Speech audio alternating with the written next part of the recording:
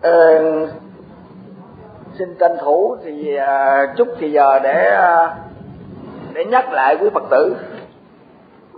Hôm nay cũng có cái giấy viết để đây nhắc lại cái vấn đề uh, vấn đề kỷ niệm mừng thọ 50 năm đạo đời gì 70 năm đời 50 năm đạo gì đây nè.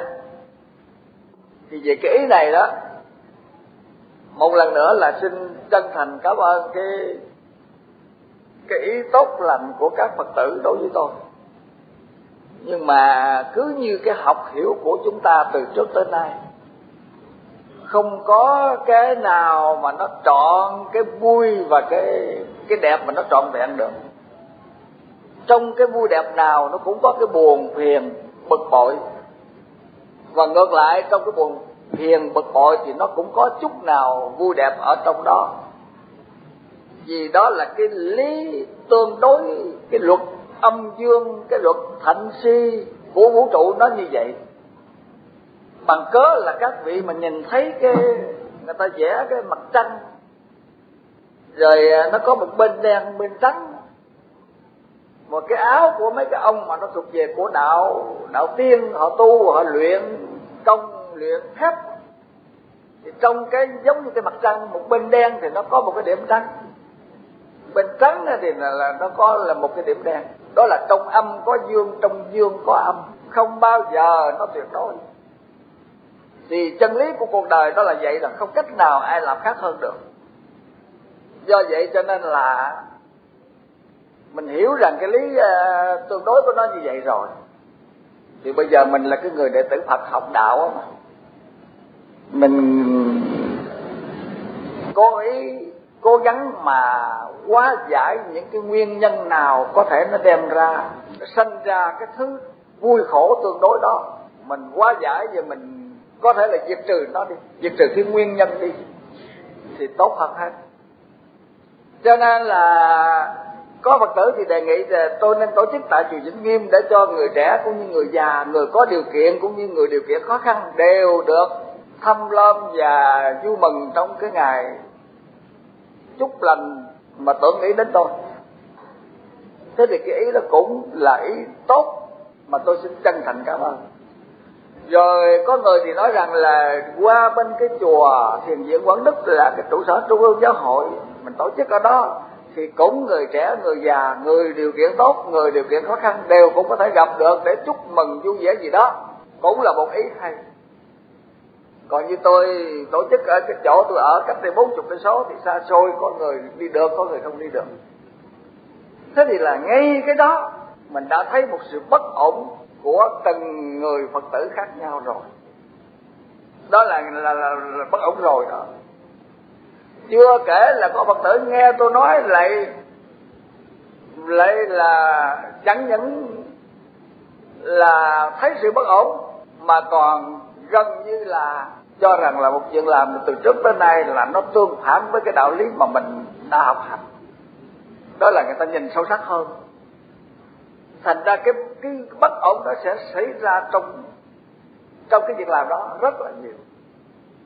Do vậy cho nên lần trước tôi đã nói rồi, bây giờ xin nhắc lại lần nữa là cái đó coi như làm rồi. Mình nói như vậy tức là coi như làm rồi. Không có lỗi chức gì nữa hết. Là an lành nhất tuổi trẻ cũng như tuổi già điều kiện tốt như điều kiện xấu có điều kiện nhưng không có điều kiện đều an lành hết. Hay không? À, cái đó mới là hay đấy chứ. Chứ còn bày ra là nhất định là có đau khổ mình chưa làm đã đau khổ rồi. Có người đau khổ gì mình có cái lòng tốt với thầy. Nhưng mà ngày đó tuổi mình cao mình làm sao mình đi được? Thế là đau khổ của người già có người nói rằng cái ngày đó là mình cũng có lòng tốt, mình cũng đi, nhưng mà ngày đó là bị bị tại vì bởi nhiều lý do đi không được, cũng sanh đau khổ. Rồi còn có người thì khắc phục mọi thứ, tranh thủ thời gian để mà đi, cũng là một nguyên nhân cái mầm móng đau khổ ở trong cái đó, giống như trong cái trắng nó có cái đen trong cái đen nó có cái trắng. Chứ còn mấy người mà được trọn hoàn toàn yên ổn để mà đi với một tâm hồn thật thoải mái đâu thế là gây đau khổ nhiều hơn là an lạc. Cho nên không làm là tốt nhất. Không làm nhưng mà kể như làm rồi. Và lại nữa, thao hối am của tôi là cái câu tiện năng tháo tâm dục đức, hối tích thao danh uổng tố tinh thần, khuyên hiu chỉ tuyệt. Hối tâm dục đức, tháo tâm dục đức, hối tích thao danh, tức là mình rửa tâm hồn trong sạch, mình bồi dưỡng cái cái cái phước đức, cái trí tuệ cho nó cao lên. Để mà xúc tích tinh thần nguyên hiếu chỉ chỉ tuyệt.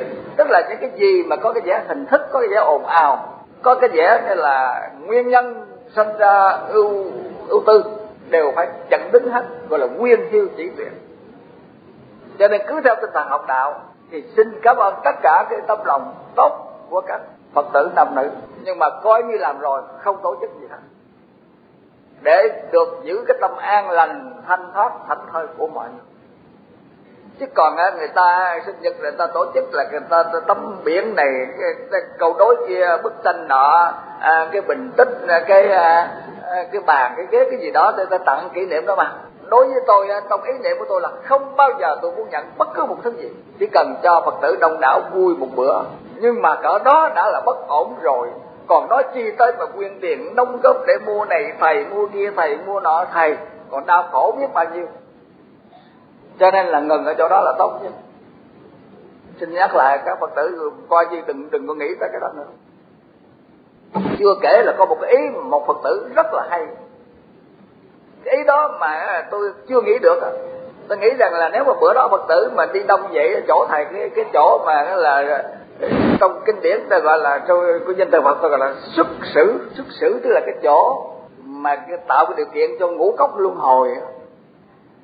Mà ngũ cốc luân hồi đó theo tiếng tiếng tiếng tây được gọi là toilet. Nó có cái thì là làm sao mà phục vụ cho đủ cả mấy trăm người. Ý kiến đó tôi thấy rằng là trí tuệ thiệt à nó rắc rối cái đó đó. Nó sẽ ra phiền phức. Mà thật sự như vậy cho nên là xin nhắc lại là đừng có nghĩ tới nữa. Bây giờ lo học thôi. Lo học kinh thôi. Hôm nay có cái giấy này của cô Diệu Nguyện à, nhắc lại lần nữa mà tôi đã nói rồi, lần này lần thứ hai. Gác cái ý nghĩ đó hẳn hỏi coi như làm rồi.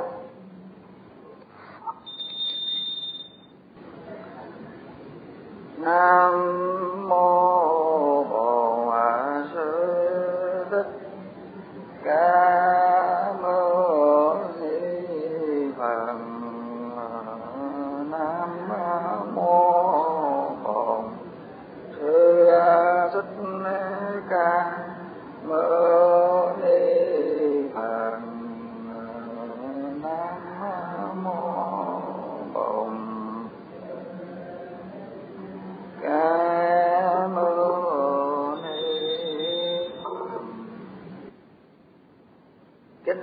toàn thể đại chúng. Hôm nay là ngày 9 tháng 3 năm 97 chúng ta tiếp tục triển khai về kinh pháp hoa tới phẩm thứ 10 18 là tùy hỷ công đức kỳ thứ 41 à, ờ, xin uh, bắt đầu triển khai về tùy hỷ là tùy hỷ những gì? Tức là tùy hỷ toàn bộ giáo lý của kinh pháp hoa để mà ứng dụng vào trong cuộc sống của mình, để cho nó có được an lạc, hạnh phúc, tự tại, sinh an. Có giải thoát giác ngộ.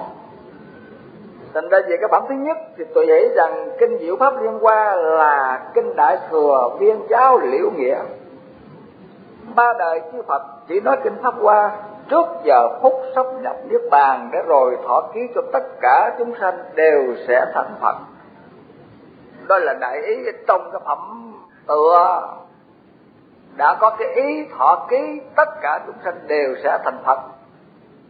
Trong cái hình ảnh của đức phật, nhật nguyệt đăng minh như lai, trong thời quá khứ, mà hiện ra ở trong cái điềm mà do cái ánh hào quang uh, phát xuất từ cái mạch hào tướng tức là cái tướng long trắng ở chặn giữa đôi mài của Phật Thích Ca phóng ra chiếu sáng 18.000 thế giới ở phương Đông.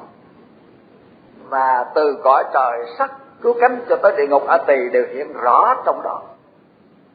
Và trong đó thấy sự sinh hoạt của chư Phật chư Phật, tu hành, những Bồ Tát đang tu hành, cái nhân thành Phật có có những vị Phật ngồi dưới cội Bồ đề đang thành Phật, có những vị Phật đang thuyết pháp, có những vị Phật nhập niết bàn. Và trước khi nhập niết bàn cũng đều nói kinh đại thừa diệu pháp liên quan thì những cái những cái sự kiện đó được nêu ở trong cái phẩm tựa và khi mà nói kinh đại thừa diệu pháp liên hoa thì các vị Phật trong quá khứ đó cũng đã từng thọ ký cho các đệ tử đều sẽ được thành Phật.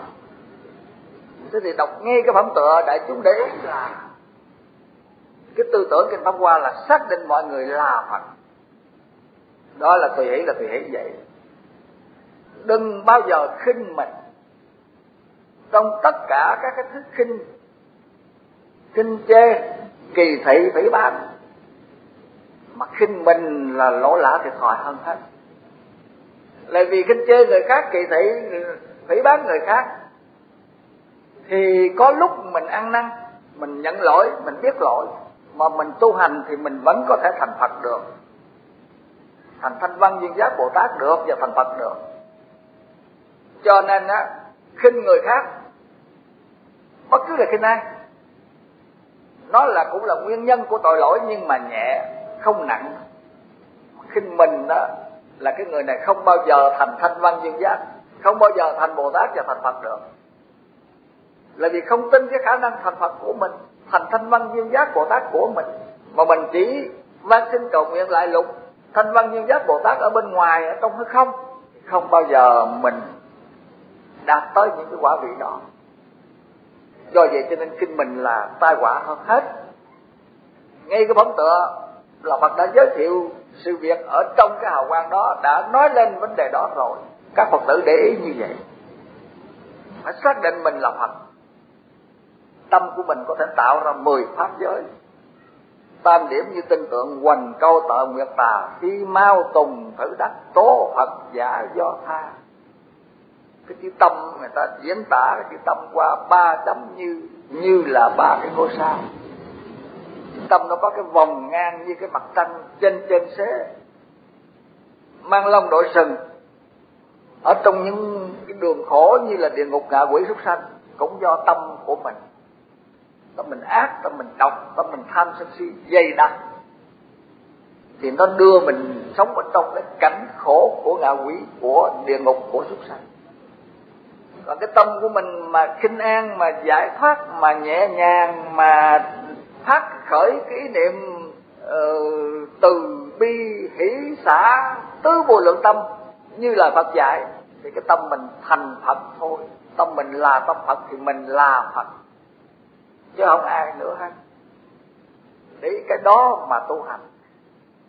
Hàng thanh văn tu đà hoàng tư đà hàm a la hàm a la hớt cũng dựa vào cái sự cải tạo của tâm mình mà nó chứng từ quả vị một chứ cũng không có không có cái tha lực, gọi là cái tha lực nào ở bên ngoài. Tùy hỷ kinh pháp hoa là tùy hỷ cái đó đó. Tôi nhắc lại đại chúng, tôi rất lo là các các phật tử của của của phật giáo chúng ta đó, còn sợ cái tha lực bên ngoài rất là nhiều. Mà sợ như vậy là mình chưa hiểu được đạo phật đâu. Cái tha lực ờ, ngày hôm qua vô tình tình cờ tôi đọc cái tấm lịch, mà ta có để câu châm ngôn có câu châm ngôn họ viết ở trong cái lịch blog á, mỗi ngày có một câu. Mà tôi đọc qua tôi thấy câu á, những cái tâm trạng sợ hãi, từ cái tâm trạng sợ hãi mà nó sinh ra, nó tạo ra các thứ thần linh. Tôi đọc câu đó quá quá hay. Tất cả những quỷ thần mà mà người ta sợ đó, nó phát xuất từ cái tâm trạng sợ hãi, phi lý của con người mà ra đối với đạo Phật là cái câu đó là nó ăn với cái giáo lý của đạo Phật. Thật sự ra quỷ có, thần có. Nhưng mà tôi nói nhiều lần rồi, họ cũng là một thế giới chúng sinh. Trong lục đạo chúng sinh mà thôi. Họ không có làm gì ta được, cũng như ta không làm gì họ được. Cái loài nào, cái chủng loại nào thì sống theo chủng loại này. Cái phước báo của người nào hưởng theo cái cái nhân mà của của mình tạo ra. Cho nên là tất cả những cái tâm trạng sợ hãi, nó nó sinh ra quỷ thần. Sinh ra các vị thần linh là do tâm trạng sợ hãi. Mà cách đây, cái thời kỳ xa xưa trước đây, người ta không cắt nghĩa được những cái hiện tượng của vũ trụ. Cái gì người ta cũng đổ trúc cho quỷ, cho thần cho thần linh, cho một đấng siêu nhiên để cho nó dễ vấn đề giải quyết. Mà người ta không cắt nghĩa được chứ ngày nay thì mình thấy rõ quá. Mà thứ nhất là là cái vấn đề mà giáo lý nhân duyên của đạo Phật. Ngày nay mình thấy rõ quá sức. Tất cả đều là do cái này có mà cái kia có. Do cái này sanh mà cái kia sanh. Do cái kia sanh mà cái này sanh. Không hề có một cái nào độc lập. Kể cả những cái nguyên tử rồi cái cái hạt nhân của nguyên tử. Mà trong cái hạt nhân của nguyên tử là phải dùng cái kính hiển vi cực vi tế mới thấy được mà trong đó nhà khoa học người ta nói còn không biết bao nhiêu cái nữa mà chưa đặt tên đó ra được, chưa gọi nó được. Chứ không phải là cái hạt nhân, cái hạt cơ bản. Nhỏ vậy là rồi, là là đơn vị của vũ trụ, không phải vậy. Đều là tương quan tác động nhau hết. Cho nên không có thần linh gì đâu, không có quỷ thần. Quỷ thần là do mình sợ hãi mà nó có ra.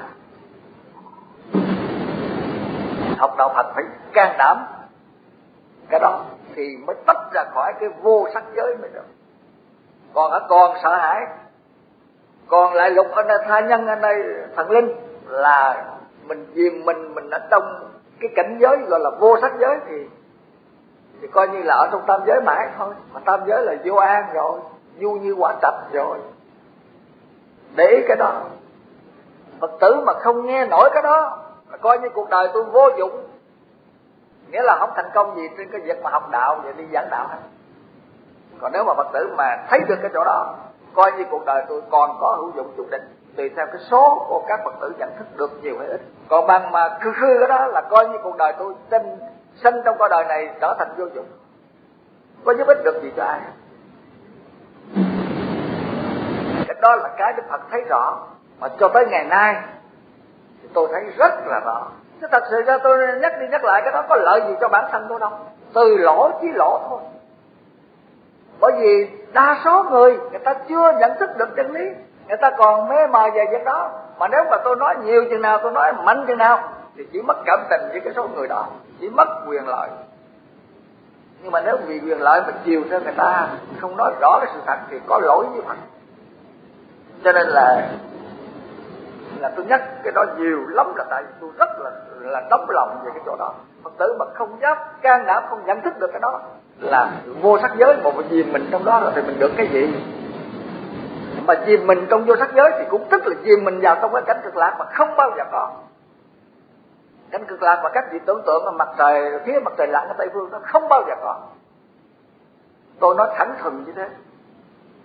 Mà cảnh giới cực lạc đó, các vị có thể đem nó về đây các vị du ngoạn trong cảnh giới cực lạc nếu các vị biết, tạo cho mình một cái nguyên nhân cực lạc. Cực lạc là gì? Là cái cảnh vui mà không hề có khổ, gọi là nước cực lạc. Thế thì bây giờ các vị diệt trừ những cái tham dục sân nhế, thùy miên, đạo cử hối và nghi. Tức là đạo phật gọi là ngũ cái. Người tu hành là phải xa liền ngũ cái tức là năm cái đó nó che đậy tâm tánh mình, nó làm cho mình không hề thấy được cảnh giới cực lạc ở đâu. Tham dục. Tham dục trong đó có dục về tài, về sắc, về danh, về thực về thùy. Sân nhuế cái người mà cái tâm sân nhuế cái tâm giận dữ, giận đùng đùng đùng hoài thì làm sao mà cực lạc được? Thùy miên. Đam mê trong cái lười biếng, cái ngủ nghỉ. Tạo tạo hối. Tạo hối tức là tạo cử. Cái tạo cử là thân khẩu ý luôn luôn là mình không có làm chủ được. Nó muốn nghĩ gì nó nghĩ nó muốn tư duy gì nó tư duy mà mình không có chánh niệm nghi là không tìm ra chân lý. Mà không tìm ra chân lý thì thì thì có cái lý tưởng nào để mình tin đâu? Là năm cái đó gọi là ngũ cái. Nó che ngang chân đắng nó làm cho cánh giới cực lạc. Ở ngay chỗ mình, ở trước mắt mình mà không hề được thụ hưởng gì hết. Nó giống như là mấy người mù từ trong bụng mẹ mà. Bông hoa màu sắc, ánh sáng, mặt trời nước trong trăng thanh mây bạc đối với người mù trong bụng mẹ vẫn ở trong đó mà không hề thấy được mây tăng thanh không hề thấy được mây bạc không thấy được những cái lấp lánh đẹp đẽ của sao và uh, ánh sáng mặt trời gì á. Là vì tại vì cái cái mây mù của mắt nó nó che đậy rồi còn cái màng nhĩ mà nó nó, nó che đậy rồi sao nó cái cái tức là nó che đậy thêm cái màng nhĩ nó làm cho màng nhĩ không có đủ sức rung chuyển làm cho âm thanh không tác động được không nghe được. Mỗi thì xoan xoàn xoan bướm xoan gì đủ thứ để làm cho không còn ngửi hương được. Lưỡi thì cũng tê liệt cũng không biết vị. Thế thì là nếu mà bị những thứ đó thì gọi là cái à cái tức là nó che đậy mắt, tai, mũi, lưỡi, thân đều bị tật bệnh hết. Thân thì là bị cái bệnh phong mà, nghĩa là lửa châm không nóng, mà kim đâm đau. Thế thì là năm cái cái cơ quan đó mà nó bị bệnh, thì mắt, tai, mũi, lưỡi, thân ý vô tác dụng. Đối với sắc thanh hương, vị, xúc đó là ngũ cái về thân. Còn ngũ cái về trí là tham dục, sân nhế thủy miên điều hối. Điều hối và nghi, bị năm cái đó nó che thì không thấy cảnh giới cực lạc không thấy được bồ đề niết bàn. Cho nên à, rồi thêm nữa là tam độc. Tam độc là tham độc, sân độc và si độc. Nếu mà mình mà bị ba thứ độc đó, thì cũng không bao giờ thấy được cảnh giới cực lạc không bao giờ biết được bồ đề niết bàn là gì. Dầu lặn hụp ở trong cái biển của nước nước mát của niết bàn. Dầu ngồi trên cái đỉnh núi cao vòi voi cũng không hề thấy được giống như những người nuôi người mù trong bụng mẹ vậy. Do vậy cho nên là phải nhận thức cái chân lý đó. Nó rất là quý. Không nhận thức được chân lý thì không có kết quả. Cho nên ở đời sở dĩ mà đức phật mà có cái biệt hiệu mà mà ta gọi là thế tôn, là đâu có gì lạ đâu. Ờ, các đệ tử nói bạch thế tôn, ngài là một đấng thế tôn, là một người cao quý nhất trên cõi đời này đức phật không nói đó, mấy ông nói coi chừng à, coi chừng xét lại à, vì sao dựa vào đâu mà mấy ông dám nói ta là thế tôn? Các đệ tử nó bạch thế tôn. Chúng con dựa vào cái sự thật. Những cái mà người đời người ta bị đắm chìm ở trong đó, mà chúng con đã gần gũi. Có những người chúng con hầu hạ thế tôn mấy mươi năm, chúng con thấy rằng thế tôn không hề bị sai phạm bị xa rớt vào trong những cái sai trái mà người đời thường dìm mình trong cái đau khổ đó. Thí dụ, tham dục. Ai cũng đều tham dục hết, mà đức thế tôn không có tham dục. Sân nhế, ai cũng có hết, mà thế tôn thì không hề có. Thùy niên, điều hối và nghi, tức là ngũ cái đó mà. Năm cái đó chúng con đã theo ở gần gũi thế tôn thấy thế tôn hoàn toàn không có cái đó. Thế thì ngã phải là thế tôn là gì? Cho nên cái từ thế tôn nó phát xuất từ cái tôn kính nhất ở trong cái số người đời mà người ta không có cái đó, mà thế tôn có được cái đó. Tức là xa lìa được ngũ cái. Và người ta thường ăn uống ba cái món độc, là tham độc, sân độc và si độc, mà thế tôn không ăn nhầm những cái thứ độc hại đó. Do vậy cho nên là thân thể của thế tôn, trí tuệ của thế tôn vô cùng trong sáng. Thế thì không phải gọi thế tôn là gọi bằng gì giờ cho nên cái từ thế tôn, như là thế tôn là nó phát xuất từ cái bản thân của như lai, đáng được tôn trọng và và kính quý. Mà do lấy ngũ cái làm tiêu chuẩn, lấy tam độc làm tiêu chuẩn. Người xa lìa được tam độc. Người không hề bị ngũ cái che này nó là cái tiêu chuẩn mà để chúng con gọi ngài bằng thế tôn cho nên giờ chịu tu hành là chúng ta phải lấy cái hành động của chúng ta làm tiêu chuẩn để định định mức cái cái sự giải thoát giác ngộ của chúng ta. Chứ không phải là do ai ban tặng gì hết. Không có do thần linh. Thánh sống thánh chết. Gì hết. hiểu được cái đó thì cái học Phật nó lợi ích. Lớn lao lắm. Ờ, bây giờ tới phẩm thứ hai nè. Tùy cái phẩm thứ hai là tùy hỷ cái gì? Tôi hỷ rằng chư Phật Như Lai ra đời, chỉ vì một đại sự nhân duyên. Này, chư Phật ra đời chỉ vì một đại sự nhân duyên, tức là một điều kiện chánh yếu và điều kiện mà lớn nhất của cuộc đời Đức Phật mình ra đời đó, là nhằm giới thiệu cái tri kiến phật của chúng sanh cho chúng sanh biết đấy, tức là là khai khai bậc tri kiến khai tức là mở mở màn đó. để giới thiệu rằng trong chúng sanh đó, mỗi người đều có tri kiến phật sẵn trong đó rồi. Tri kiến phật cũng tức là cái phật tánh này.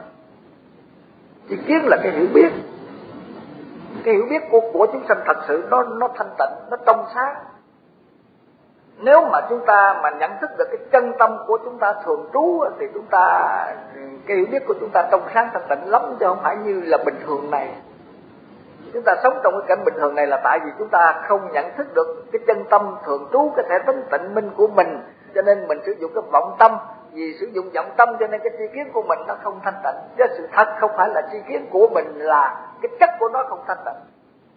Mà cái chất của nó là cái chất thanh tịnh cái chỗ này là ai muốn tu thiền phải dựa vào cái chỗ đó mà tu thiền, chứ đừng có đi kiếm thiền sư ở đâu nữa.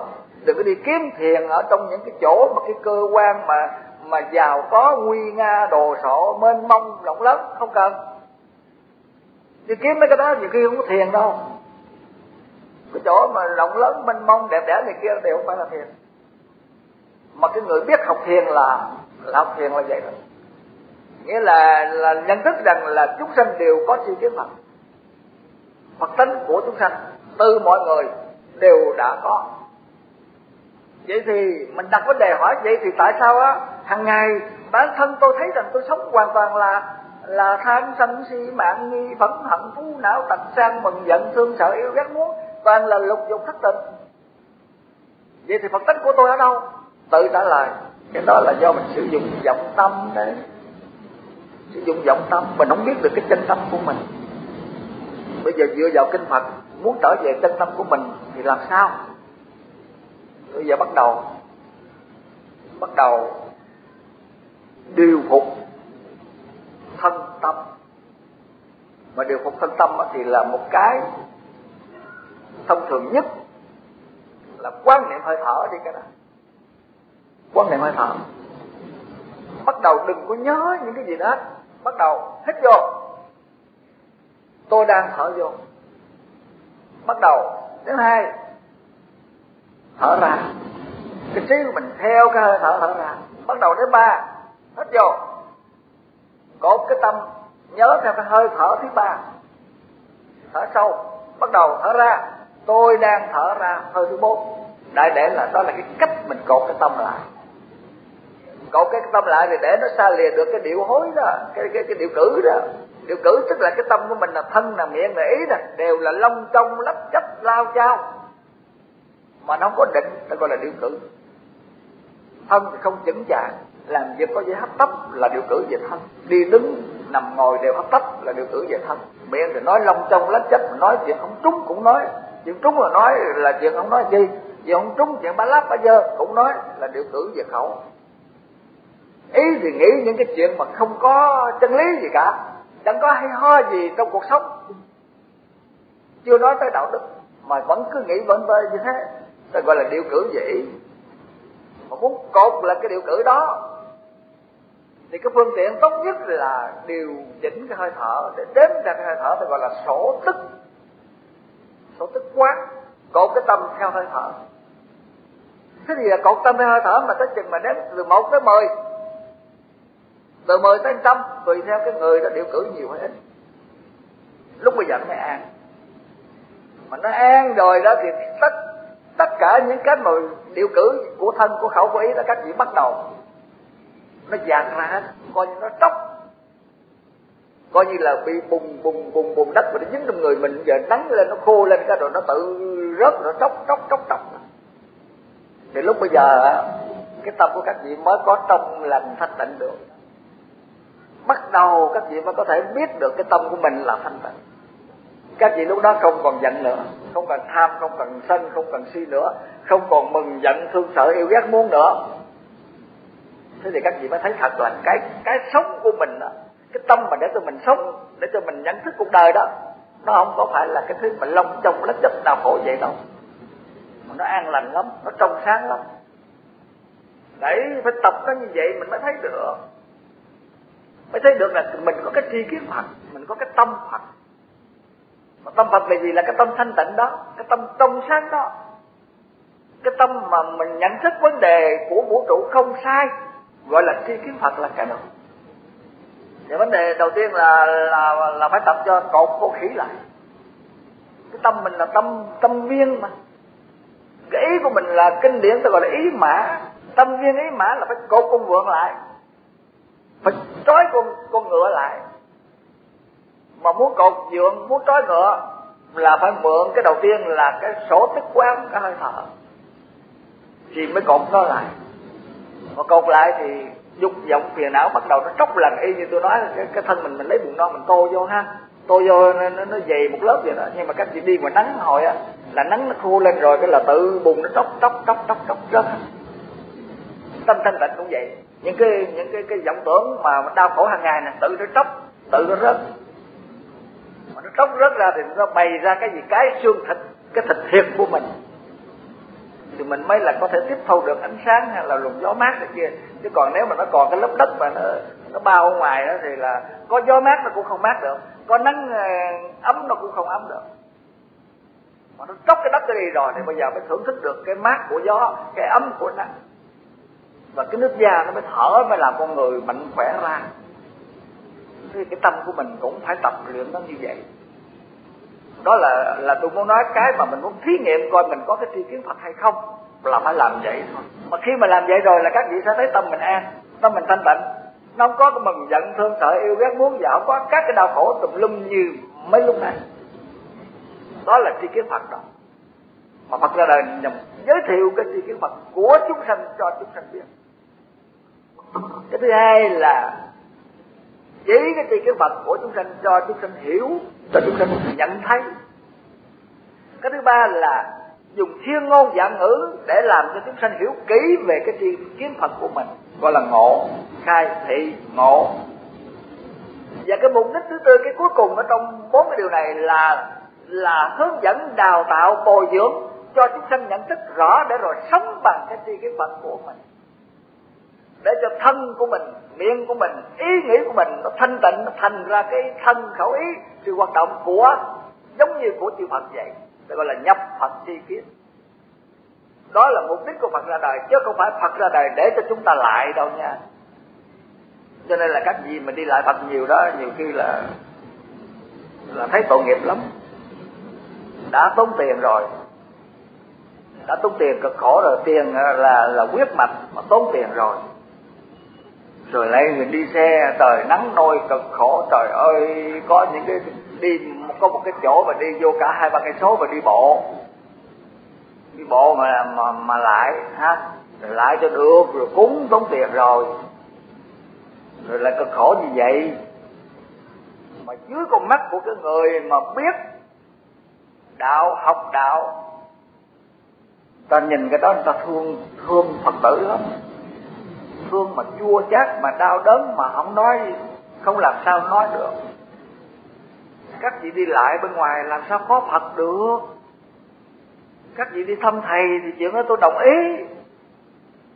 Với ờ, tết rồi có cái dịp rồi đi đây đi đó đồng thời cũng thăm thầy. Rồi còn gặp uh, chùa chiền phật tượng thì mình cũng đúng cái nhan mình cái cái cái cái cái, cái, cái đức tin tưởng của mình thì cái chuyện đó cũng không phải gì là tội lỗi. Nhưng mà đều dứt khoát là không có phải là nương tựa vào nơi những cái hình ảnh, cái tượng cốt hay là cái chùa chiền. Hy vọng ở đây cái đó là không phải đâu. Là hoàn toàn là thất lợi. Còn như đi thăm thầy, đi vãn cảnh, đi du lịch, rồi gặp chùa chiền cũng cúng, rồi cũng thắp nhang, điều đó cũng có gì tội lỗi, đừng có sợ. Nhưng mà lấy cái hành động đó mà làm cái chỗ mà an thân gặp mạng, lập mạng, mà gửi gắm đời mình nhờ cậy nơi cái phước đức, cái công lao gì đó là hoàn toàn lỗ lạ nhưng mà đâu có đâu có nhiều người được biết cái đó đâu. Người ta tưởng đâu là ta làm vậy là là là đạo phật là vậy phước đức, là từ nơi cái cái việc làm cực khổ của người ta đó. Thì ta không phải. Thì thật là khai thị ngộ nhập phật chi kiến của mỗi người, trong mọi người và mọi người phải sống bằng cái phật chất, bằng cái cái phật vốn có của mình. Học là học cái đó. Tùy hỷ cái có qua là tùy hỷ cái đó chứ tôi mới nghe cái tin là ở ngoài ở ngoài nha trang có một bà cụ đó tám, bốn tuổi rồi mà lại cái tóc hoa này đọc à nam mô đại thừa ngừng lại lại bốn lại. Diệu pháp liên hoa bốn lại nữa. Rồi cái như thị ngã văn bốn lại. Nhất thời phật tại, lại bốn lại. Kỳ trà quật sơn bốn lại cứ như thế mà lại gọi là lại bắt qua. Trời phật ơi. Phật thích ca ông nghe ông nói trời ơi tao đâu có ác như vậy. Trọn đời của ta là vì lợi lạc chúng sanh mà. Ta muốn cho chúng sanh được an vui được hạnh phúc chứ ta đâu muốn hành hình cái bà già tám bốn tuổi này. Cái đó đau lắm nghe cái đó đau lắm mà ông thầy nào mà dạy dạy cái kiểu mà lại đó là tàn nhẫn vô nhân đạo hành hạ người ta lại như vậy, rủi thời người ta quyết áo cao rồi đứt bạch báo rồi bại liệt người ta sao? Cho nên nghe cái đó nó đau, không nói nổi. Người ta người ta tùy hỷ cái đó qua là ta tùy hỷ cái cái cái nghĩa lý thâm sâu ở bên trong, rồi người ta người ta là nhận thức cái kinh pháp qua rồi người ta thể nhập, rồi ta sống bằng cái tư tưởng của pháp qua cái lời dạy của kinh tôi quý trọng kinh là là ta quý trọng cái tinh thần, cái tư tưởng của bộ kinh đó. Ta vận dụng trong đời sống mà đem lại sự an lạc, sự hạnh phúc, sự giải thoát, sự giác ngộ cho người ta. Cho người ta quý là quý là cái đó. Chứ quý mà đem ra mà không cần hiểu gì nghĩa lý gì hết. Đem lại từ chữ từ chữ vậy thì đức phật chẳng qua là một người ác đức nói ra bộ kinh để mà hành hạ đệ tử mình cho sau này chơi hay sao? Cho nên cái sai lầm quá lớn, tu rất là cực thức khuya dậy sớm để lại như vậy lại để làm gì? Lấy sách thuốc của hải thượng lãnh ông ra cái bộ tám cuốn dày vậy nè. Lại hải thượng lãng ông lại bốn lại. Là tác giả quyển uh, tha hải thượng y tông tâm lãnh lại 12 lại. Chết rồi. Hải thượng lãng ông là tác giả của bộ là hải thượng y tông tâm lạnh. Ở trong đó mới nói là xong, là là bối mẫu, là tục nữ, là hồng hoa, là bản hạ, là bối mẫu, là liên kiều. Trong đó đã sáng tác bài thơ trước kính lại song thân bối mẫu mà sao tỏ cùng thục nữ hồng hoa.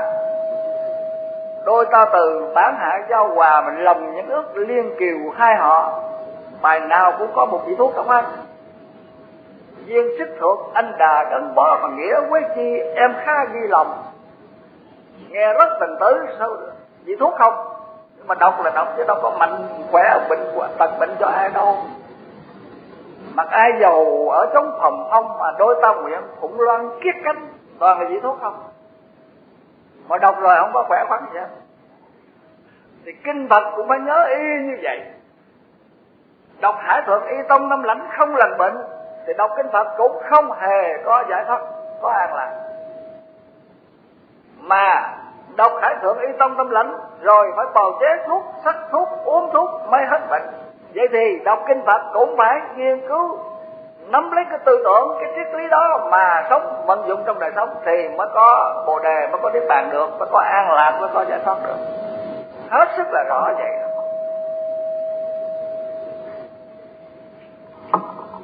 cho nên cái phẩm tuệ này nó hay dữ lắm. Đó là đó là phẩm thứ hai là khai thị ngồi nhập phật chi kiến đó và tùy ý cái phẩm thứ ba nè. Tùy ý rằng giáo lý của ba đời chư phật đều dạy cho chúng sanh cái pháp nhất thừa. Hết. Ai đó à, chỉ là cái thế dê cái thế này. Mà ông tưởng giả phương tiện nói đó thôi. Ông thí dụ thứ ba nói về ba ba cái xe.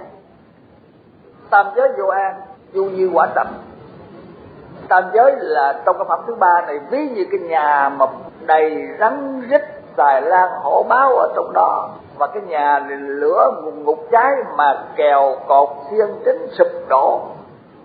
Đã rời sắp tan rã vậy mà những người con của ông trưởng giả ở trong cái nhà đó mà cứ vui đùa dẫn chơi, không hề biết sợ.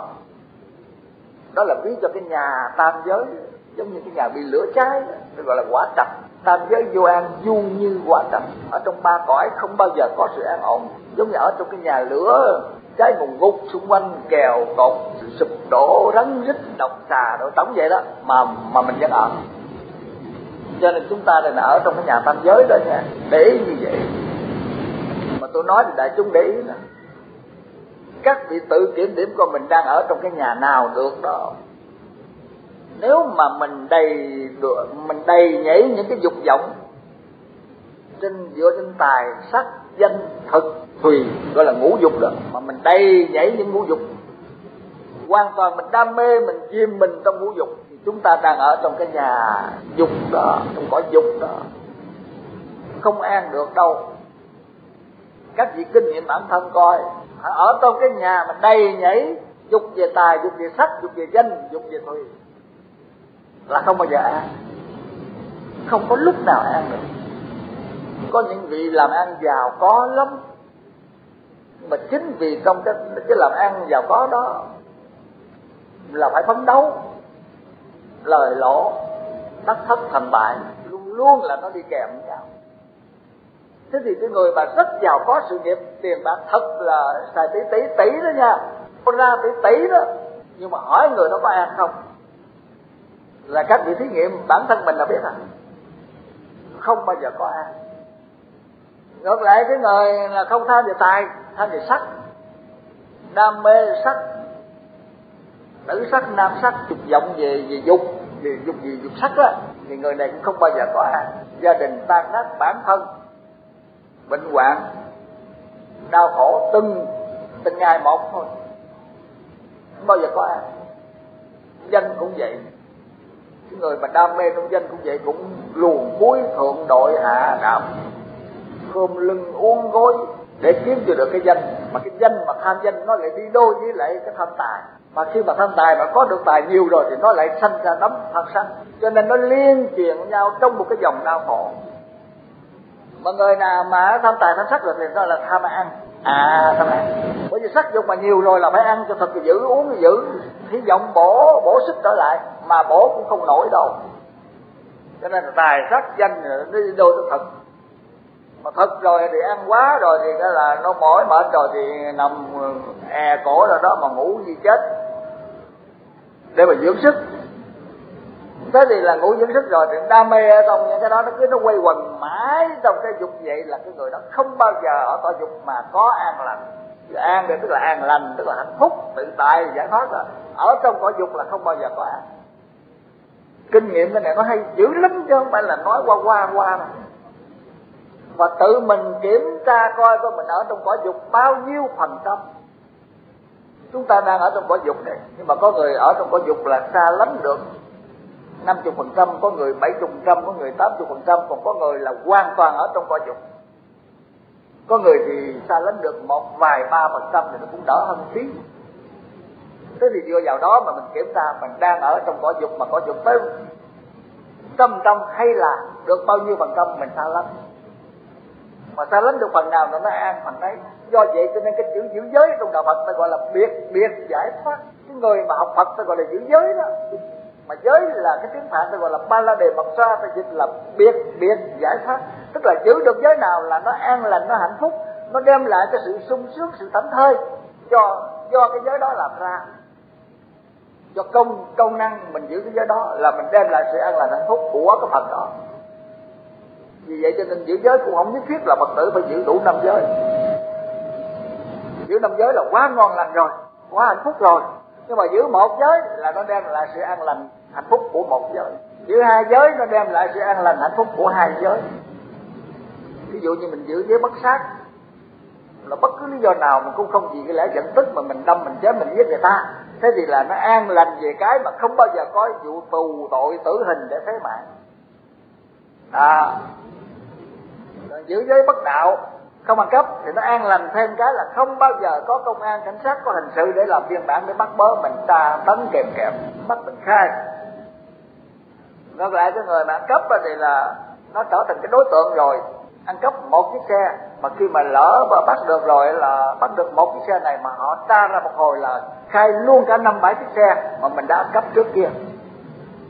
Thế thì là là là, là không giữ giới trộm cắp thì nó đau khổ về không trộm cắp. Mà giữ được cái giới không trộm cắp thì nó sẽ an lạc.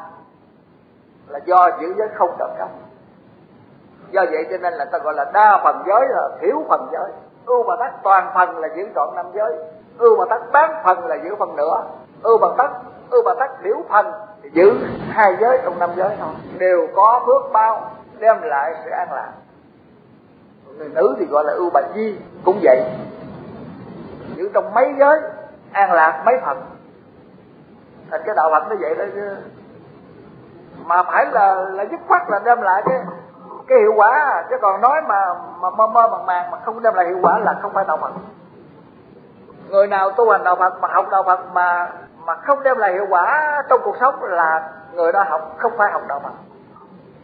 Nên là là chư Phật là ra đời là dạy cho tu là thành Phật. Bởi vì mọi người là là Phật tuy nhiên, trong cái quá trình mà vận dụng, thì Phật có nói giáo lý.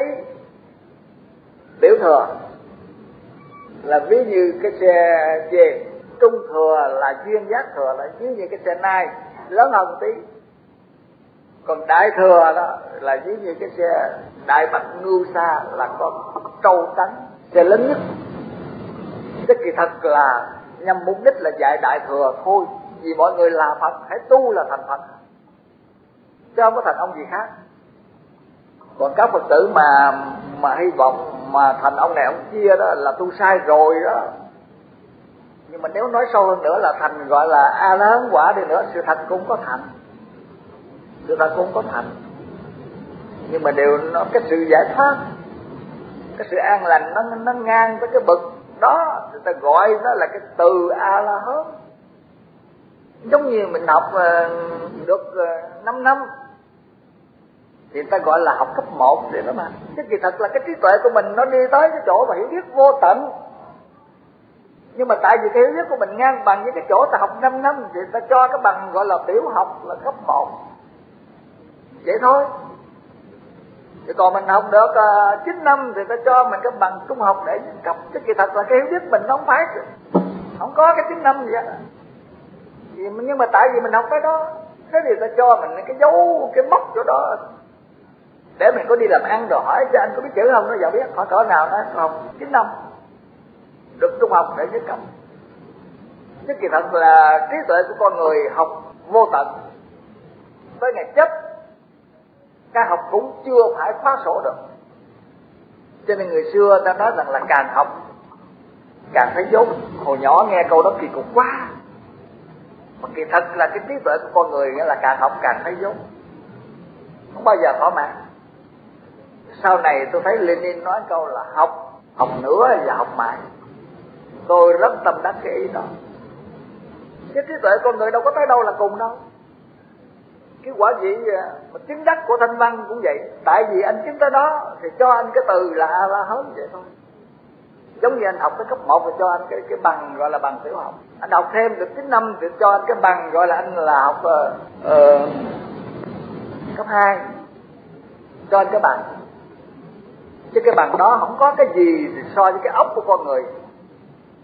Có cái gì đâu. Hết tương đối gì không cho nên tu là thành thật vì mọi người là thật chẳng qua là anh phát hiện được cái thật của anh bao nhiêu phần trăm vậy thôi còn ờ, thanh văn duyên giác là là phương tiện của ông trưởng giả.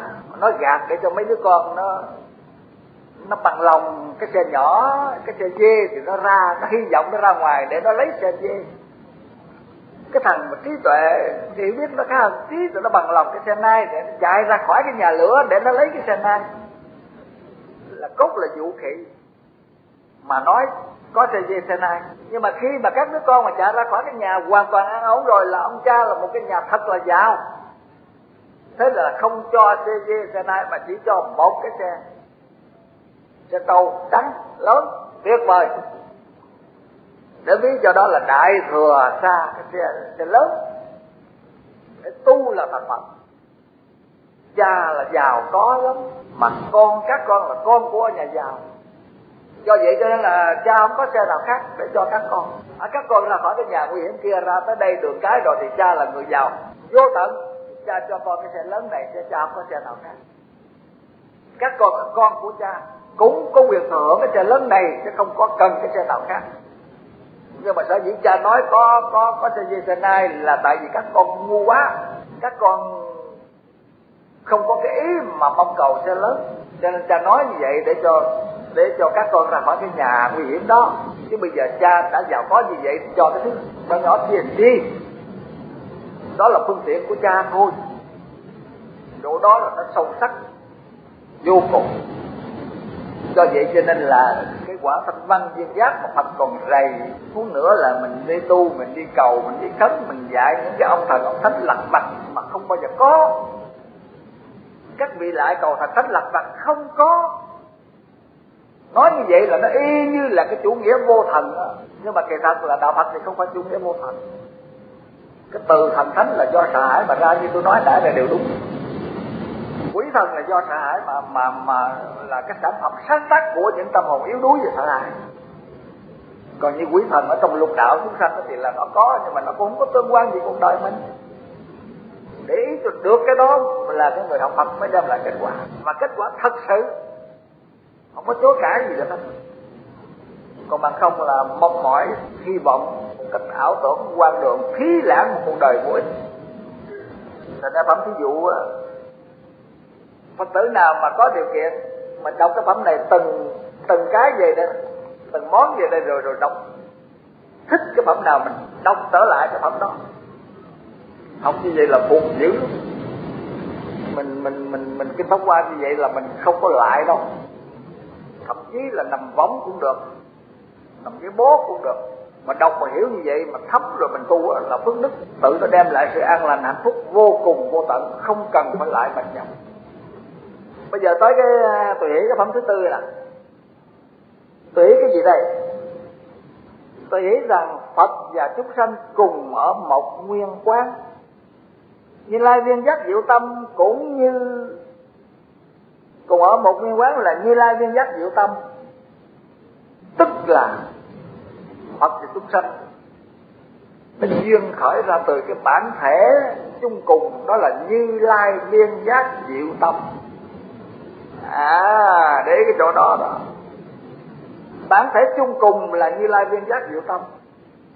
Cho nên trong kinh phật người ta gọi là đạo phật là cái đạo duy tâm, là cái thứ tâm đó đó là cái tâm như lai viên giác diệu tâm, là cái tâm mà màu nhiệm mà giác ngộ tròn đầy sáng suốt thanh tịnh. Nó giống như là những cái nồi, cái ơ những cái chén, những cái đất, những cái cà ràng, những cái ông táo nó phát xuất từ một cái bản thể là đất. Từ đất mà ta nắng ra ta nắng ra chén ra dĩa ra tô, ra muỗng, ra chum, ra chén ra lu, ra nồi, ra cà ràng, ra ông táo, ra quả lò, vân vân tất cả những đồ sứ, đồ gốc đều là phát xuất từ một. Cái bản thể chung cùng là đại địa, là đất. Thế thì như là chúng sanh và phật cùng ở một nguyên quán, một cùng một bản thể chung cùng như vậy mà duyên khởi. Để ý cái chỗ đó đó nha.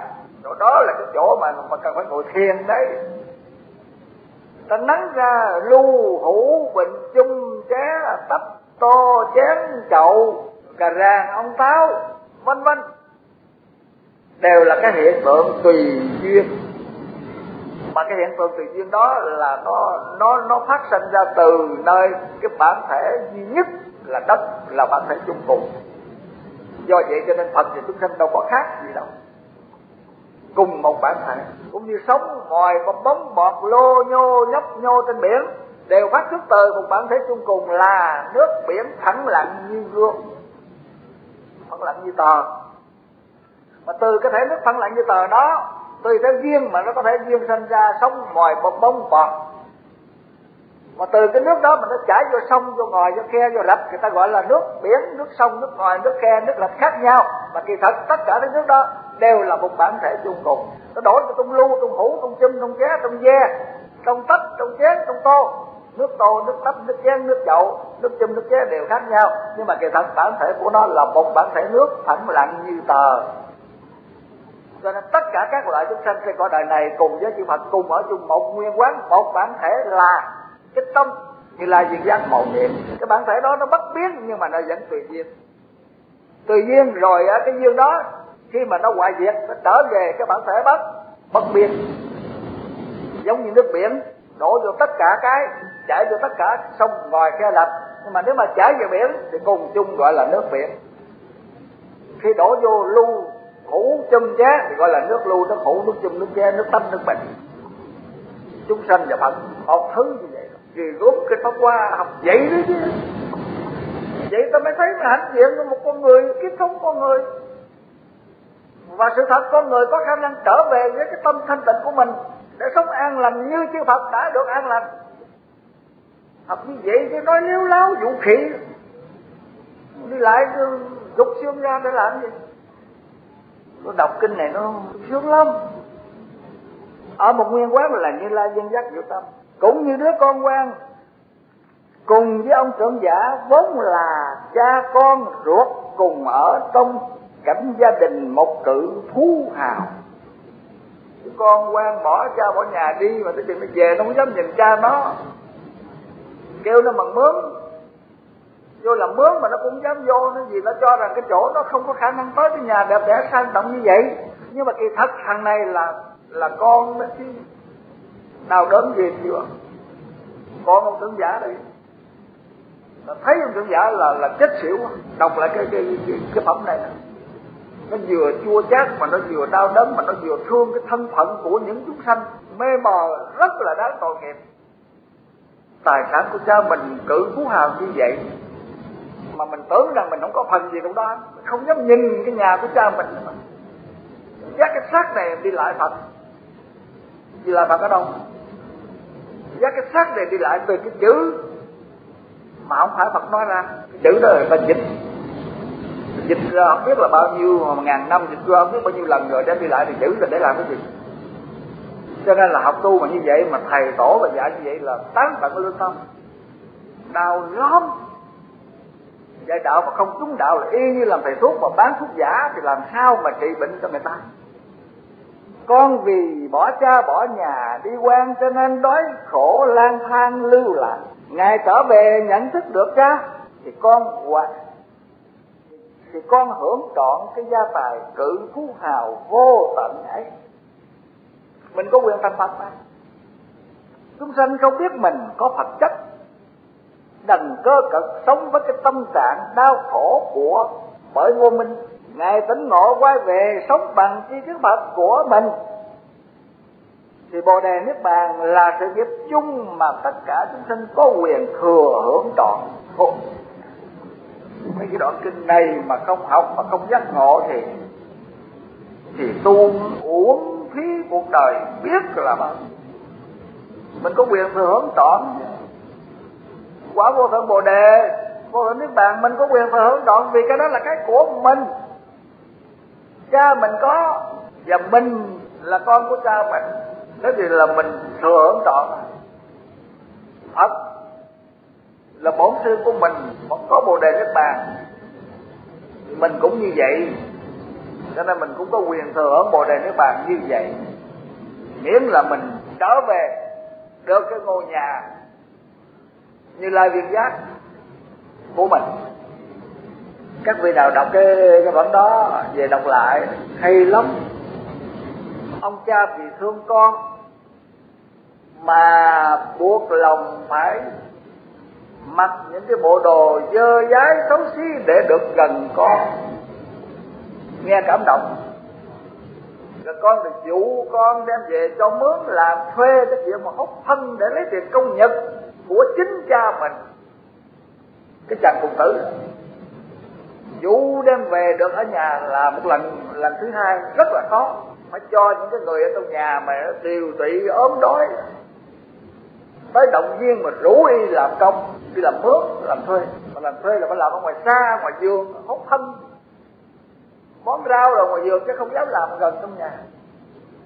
Cha muốn gần con là cha phải mặc đồ dơ dái, rồi đội nón lá, chống gậy tre, đi tới gần con, rồi ờ, lần lần ờ, kêu nó vô cho nó thuê làm việc trong nhà. Làm việc trong nhà lần lần cho nó quét lao nhà này kia mà tất cả những ờ, chìa khóa, những cái đồ cần dùng trong gia tài cho con có quyền hưởng hết, không dám. Không dám hưởng. Cũng giống như chúng ta nói tất cả chúng sanh đều có khả năng thành phật nghe không dám. Không dám nhận cái khả năng thành phật của mình. Không dám nhận mình là phật. Cho nên là đi đó, đi đây toàn là lại lục gian sinh cúng bái. Không. Tưởng mình là thằng làm mướn. Chỉ là có khả năng làm việc hút thân để lấy tiền công việc thôi. Tại vì không nhận được mình cái gia tài của cái ông già giàu đó là là của mình. Mình là con cho nên bằng lòng làm cái chuyện phóng thân để lấy tiền công việc, rẻ mạt. Cho nên đọc ra những cái này là ta gọi là tùy hỷ kinh pháp qua là tùy hỷ cái đó, để mà tư duy cái pháp đó mà tu. Để mà tôn trọng cái cái phật tính của mình. Và thấy được cái vai trò, cái địa vị của mình trên con đường bồ đề niết bàn đều là do mình có quyền khai thác cái phẩm chất vốn có của mình chứ không không từ bên ngoài mà được. Đó là phẩm tính giải thứ tư. Giờ tới cái phẩm thứ năm. Tôi nghĩ rằng sự thật trước sau, Phật chỉ dạy cho tất cả đệ tử của mình về cái pháp đại thừa. Về pháp đại thừa thôi. Vì mọi người là Phật cả tu hành là thành Phật thôi chứ có thành gì? Chủ yếu là như vậy. Nhưng mà nhưng mà tùy, nhưng mà tùy căn cơ chủng tích. Nghe ra thì có tiểu thừa, có, rồi có trung thừa, có, rồi có đại thừa, khác nhau. À tùy theo cái nghe, mà nó là giáo lý nó có khác nhau. Cũng như một trận mưa tuôn, chỉ có một vị đượm nhuần mát mẻ. Thế mà cây cổ thụ cây lựu cây lê cây lúa mạ cổ thụ là loại cây thật to cái lựu cây lê là loại cây trung trung. Cái lúa mạ là cái loại nhỏ xíu. Tùy theo cái sức hấp thụ mà cái giống cây nó có to nó có vừa và nó có bé nó có bé nhỏ không đồng. Thế thì là phật là dạy dạy một pháp tu để thành phật thôi. Nhưng mà bây giờ nó, tự ra cái cái căn cơ cái chủng tách nên là tự họ nghe họ thấy nó thành ra có nhỏ có vừa có bất thường. Cho nên bây giờ bây giờ là đối với kinh đó mà. Đối với kinh điển của phật giáo đó, tôi dạy cơ bản tôi dạy không có được. Bất cứ là cái kinh gì của cái lớp mà thấp nhất của sơ cấp mà trung cấp này kia đó mà anh đưa cho tôi là tôi nói một hồi là thành cái giáo lý đại thừa hết mà thành giáo lý đại thừa hết thì là cái trình độ của người ta nó mới vô học một, hai, ba năm là sao người ta hiểu được. Do vậy cho nên là là bây giờ mà tôi dạy tôi dạy cho học trò mà tôi dạy cái lớp sơ lớp trung là tôi dạy rất là cực, rất là khó. Nó giống như xe của người ta ta chế cái loại mà hai trăm cây số giờ. Mà lên mà biểu chạy ba chục cây số giờ. Ô, nó chạy về là hư xe hết rồi trơn. Vừa khó chịu, vừa bực bội mà vừa hư xe đó là một sự thật kỳ cục. Cho nên là thật sự đâu có kinh điển tiểu thừa. Kinh điển nào cũng phục vụ cho người ta, thành vô thượng bồ đề, vô thượng niết bàn hết à. Nhưng mà tại cái căn cơ, trình độ người nghe mà triển khai tới ngang đó phải phải ngừng, thì nó thành ra tiểu thừa. Rồi triển khai tới ngang đó phải ngừng, nó thành ra trung thừa. Chứ thật sự là đức phật ra đời là chỉ dạy có một thứ, là đưa người ta từ địa vị phạm phu lên tới thành vô thượng bồ đề, chứ không có thừa nào khác bây giờ tôi giảng những cái kinh mà cho phật tử mới tôi ờ, tôi khó giảng lắm. Giảng khó hơn là là cái mình triển khai thoải mái. Triển khai thoải mái là chỉ có cái hội trường này nó đúng là triển khai thoải mái là vì cái chỗ này nó, nó công cộng vậy đó rồi ai nghe cỡ nào nó muốn nghe sao nghe muốn khen khen muốn chê chê hết đếm xỉa rồi. Chứ còn đi các chùa khác mà mở ra một lớp giảng á mà nếu mà giảng kiểu này đó ha thì lần đầu á quảng cáo dữ lắm là tám chục người lần sau nó còn bốn chục lần sau nữa còn hai chục.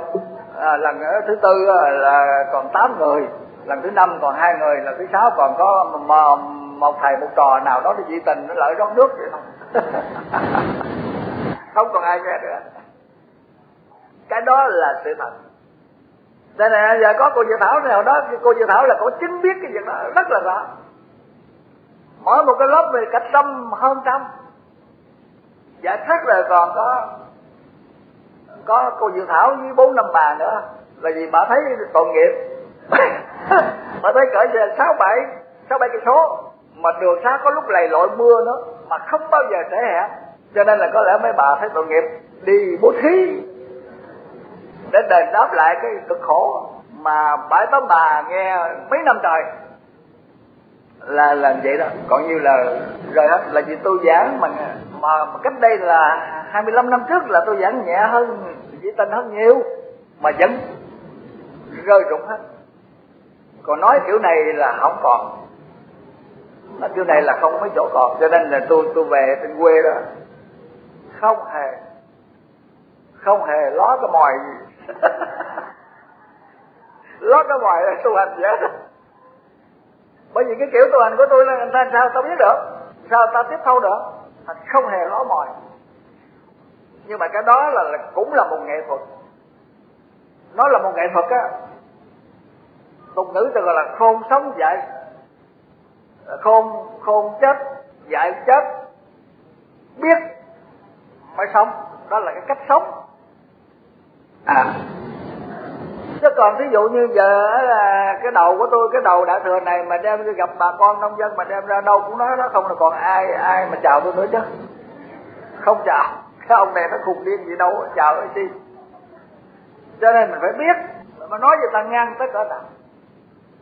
Còn khổng tử thì ta gọi là thông minh dễ trí là thủ chi dĩ ngu. Dầu anh có thông minh cỡ nào đi nữa mà cái lúc nào cần làm ngu, đúng chỗ, anh phải biết làm ngu, anh mới gọi là người thông minh thật chứ mà chỗ nào anh cũng khôn hết rồi anh không sống nổi đâu. Khôn cỡ nào anh anh có quyền không? Nhưng mà có lúc nào đó, chỗ nào đó anh phải biết là ngu như những người ngu mới thật là gọi là người khôn. Cái đó là cũng là một nghệ thuật sống. Phẩm thứ năm tôi nghĩ rằng sự thật trước sau, Phật chỉ dạy cho tất cả đệ tử của mình về Pháp Đại Thừa. Nhưng tùy căn cơ chúng tánh nghe ra Có tiểu, có trung, có đại khác nhau Như một trận mưa tuôn. Chỉ có một vị đường nhường mát mẻ Thế mà cây cỏ. Cái này nói lại rồi ha. Cây cổ thụ, cây lựu lê Lúa mạ tùy sức hấp thụ Mà cái giống cây có to, có vừa, có bé khác nhau. Đó là cái phẩm dược thảo dụ. Học cái dược thảo dụ đó mới thấy vì sao mà kinh điển cái giáo lý nó không không giống nhau. Là cái lý do là vậy đó tùy theo cái chủ tính của của cỏ cây, của hoa lá, mà nghe ra có tiểu thừa, có trung thừa, có đại thừa. Do vậy cho nên là đại chúng để Phật giáo mà thông thường là người giảng người ta phải chia ra năm thừa chứ gọi là ngũ thừa Phật giáo. Cái mà phật tử mà mà đi chùa học hành đó là nhân thừa phật giáo đó, tức là phật giáo cái giáo lý đó nó chở cho người ta, cho cái người mà tu phật. Đi lên cái cổ xe mà chạy về tới nhân thừa thôi. Nó chưa chở cho mình đi tới nhân thừa thôi. Vì vậy cho nên thành thật mà nói với các vị. Thành thật mà mà nói với đại chúng. Đại chúng mà trong nhà mà ông bà cha mẹ mà mà mà khi mà từ trần, khi mà quá cố mà các vị mà mời mấy thầy tới mà cầu nguyện để giáng sanh cực lạc tây phương ừ, là các vị tham quá. Tham quá. À, muốn à, đây lên tây ninh á, mà cũng còn phải 12 ngàn bạc xe mà muốn đi tây phương á, lại tiền ít xịt thì làm sao đi? Tây Phương nó sao biết là mấy bạn lần cái Tây Ninh? Thành ra các vị có thể đi Tây Ninh là thêm vô ích. Mất tiền rồi đi Tây Ninh thì được chứ đi Tây Phương là không có được đâu. Là vì hàng ngày các vị là mua cái vé xe là vé xe của nhân Của nhân thừa. Thì bây giờ đó là các vị trở lại các vị uh, thọ sanh lại rồi các vị ở trong cái phạm vi của nhân thừa thì được quá rồi. Giống như mình mua vé xe đi tây ninh thì đời đi tây ninh thôi chứ đòi đi tây phương sao được? Cho nên có nhiều ông thầy á họ nói chơi mà à, là đúng lý anh nói thì cầu cho mấy cái dòng linh này đi tây phương chứ. Ở đi tây ninh chứ. Còn tây phương sao đi nổi? Tây phương, tây ninh nó gần, tây phương nó xa lắm. Cho nên á, thật sự mà học đạo hiểu kỹ rồi đó, không cầu tây phương đâu. Cầu tây phương thật sự là mình phải mua vé xe tại đây. Tại lúc mình còn sống này. mình phải đầu tư trí tuệ vô. Mình phải xa lìa ngũ cái tam độc và thập sử thập tiền, thì các vị mới có đi tây phương mới được. Mà khi mà các vị mà đầu tư bằng cái tu hành mà xa lìa ngũ cái thập tiền á, tam độc á, là các vị không cần mấy thầy đâu nha.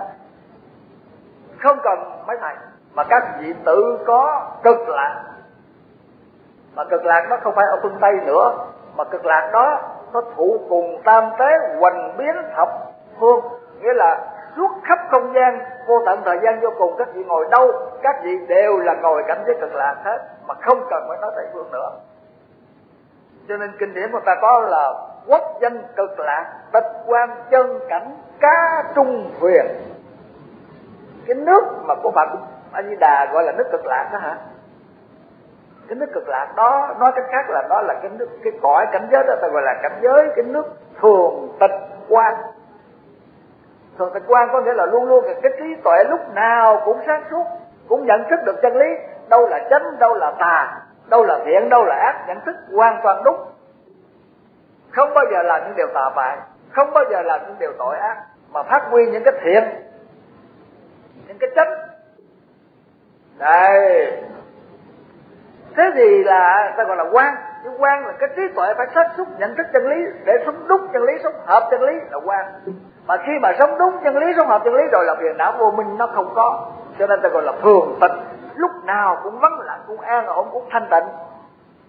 Thành ra cái cõi cực lạc đó ta gọi là tịch quan chân cảnh. Cái chân cảnh đó, là, là nó vắng lặng mà luôn luôn lúc nào cũng có cái trí tuệ sáng suốt. Vì trí tuệ sáng suốt cho nên không là không sống sai chân lý mà lúc nào cũng sống hợp sống đúng chân lý. Cho nên nó không có phiền não vô minh đau khổ xảy ra thành cái nước cực lạc tức là quốc dân cực lạc và tịch quan chân cảnh cá trung quyền. Cái cõi đó nó ở trước mặt ta.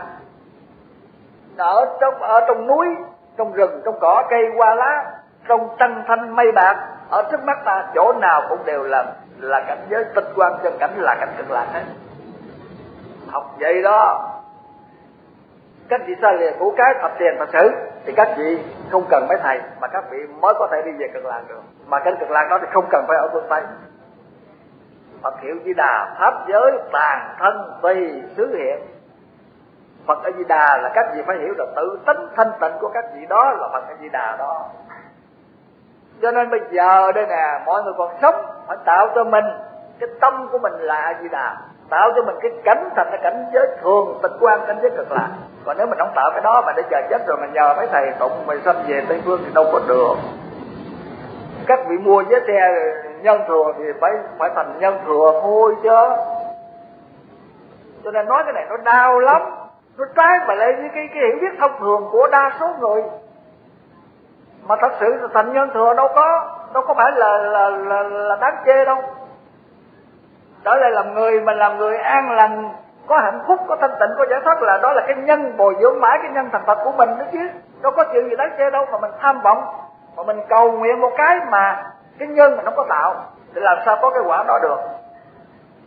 Tôi đã từng nói quyền giác thiền sư đúc kết rằng là kỹ hồi tử kỹ hồi sanh sanh tử, du du, vô, định chỉ. Sự sống chết này là bình thường, cần gì phải đi cực lạc phương tây? Không khéo là nó thành một cái ảo tưởng gì gốm lắm.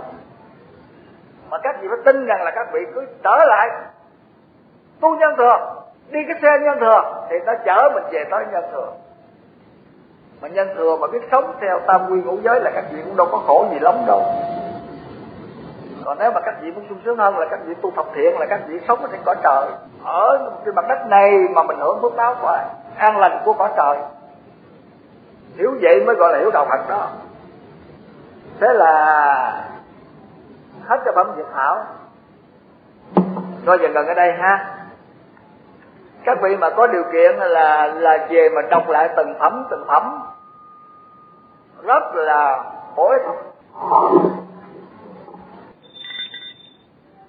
Chúng sanh vô biên thề nguyện độ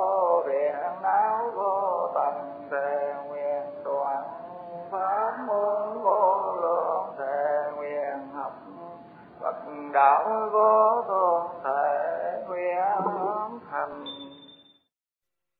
Chưa một lúc nào yên dòng suy nghĩ của tâm ta, như sóng biển lớp này đùa lớp khác. Biển dù rộng mênh mông, bát ngát, vẫn có một bến bờ yên tĩnh, bao la. Hãy biết bước qua đầu ngọn sóng, bước qua trao đảo tâm mình bỏ lại đêm dài, hướng đến bình minh. Ơi, những con sóng dập dồn không ngớt. Khi vào đến bờ, trải trên mặt cát, sẽ cảm nhận đời bọt nước phù du. Nhìn mây trắng bay ngang trên mình, thật vô tư, sẽ tìm thấy cho mình nẻo về cõi tình. Ánh trăng nhẹ chiếu trên đỉnh đầu. Sau cơn mưa đổ, trong bầu không gian, kiếp người tựa cơn sóng khơi, tâm ta chẳng khác, biển khơi muốn trôi từng cơn sông bão mịt mù như bao nghiệp dữ muốn trồng búa vây. Sóng cao sông là nghiệp đang xây. tựa thân khẩu ý đang gây trong đời. Tìm vào cõi tình thênh thang. Không còn tham ái giận hờn si mê. Cõi đời ta gắng tu tâm. Tiếng thân giải thoát, vô sự niết bàn. Muốn màu thoát cõi luân hồi. Tâm ta như anh trăng dầm sáng soi. Tìm vào cõi tình an vui. Tâm ta định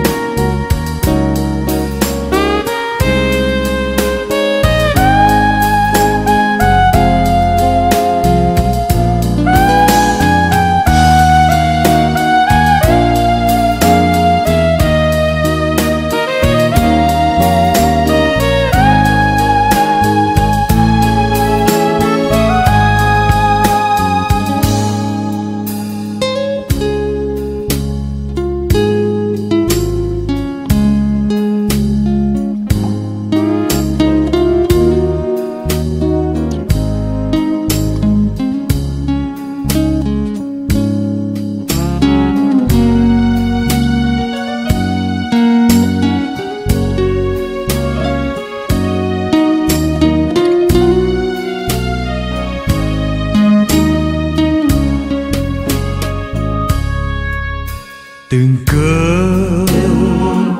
Sông bão mịt mù.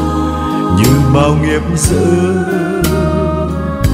Muốn trồng búa vây sóng cao. Là nghiệp đang xây. Tựa thân khẩu ý đang gây trong tìm vào